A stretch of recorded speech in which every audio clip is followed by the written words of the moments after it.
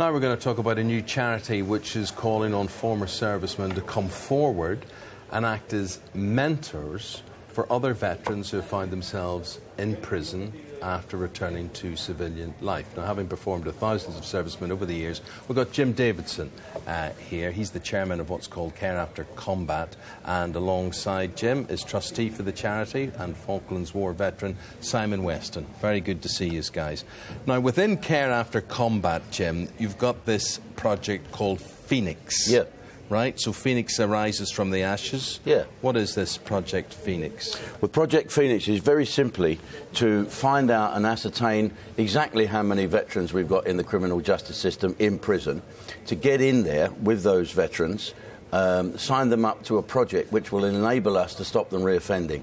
What we're trying to do, find them, give them a mentor someone of their own sort of, you know, age, someone that was in the military, talk to them, find out what they want to do, and try and make that pathway for them.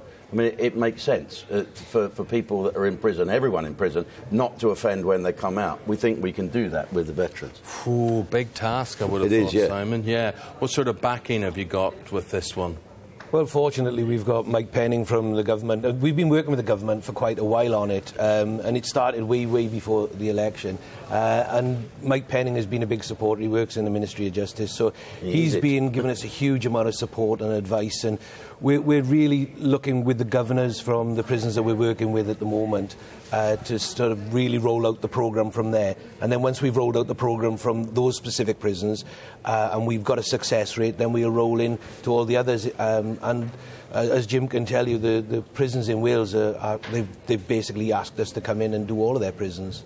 Roughly how many former yeah. service personnel do you think well, are in prison? It's very, very difficult to tell. We think between about 4 and 6% of the prison population. If you think that's 80,000. Yeah. But they are the biggest cohort group uh, within the, the, criminal justice and system. do you know why that is, Jim? Well, we'll find out, Eamonn. Mm. Simon did the best little quote when we put the brochure together about being a noble warrior.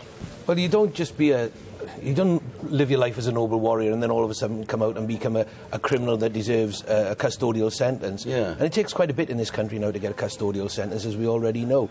So what's gone wrong? Something's gone wrong. And one of the things I, I remember listening to an interview with Sugar Ray Leonard, and the rest of the interview was great, but he, he said something that was very powerful.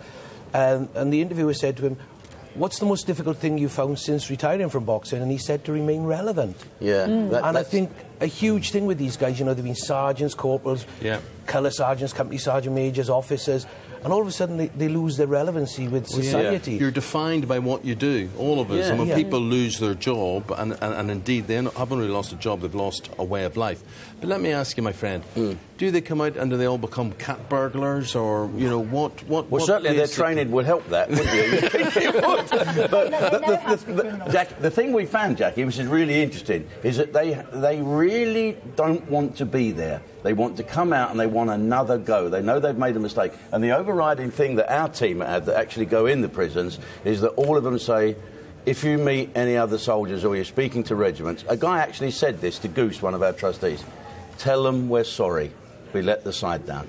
So and, and that, that is, gives you hope. So they, uh, they, want to be owned again. They want to be valued again. They need their self worth back. But this is where you need, uh, and, and part of what you're doing is appealing for these mentors. Yes. Yeah. Okay. Now, so who are we talking about? What stage of veteran are we talking about? I mean, do you have to be ex ex forces? Yes, you have to be ex-forces because that's the best way you can right. link with Talk these the people. same language. But yeah. any age and, and and any combat really. I mean, uh, I've just been approached by one young fella we've yet to contact back who's lost both his legs from Afghanistan. He wants to help mentor guys who've been in prison, yeah. so he can see the value of it and he can see the need for these guys to feel relevant again. And how, how, how if people are watching this morning, they're saying I could do that, or I know somebody who could yeah. do that. How do they get in touch with you? How I think I think the best thing is to uh, is to get on our, our website. Just look up Care After Combat. It's www.careaftercombat.org. I don't know how yeah. you work it. I always get it wrong. Google or, it. Anyway. Yeah, Google it. Google Care After Combat. Get on Twitter. Uh, or you can call us on 0300 343 2500.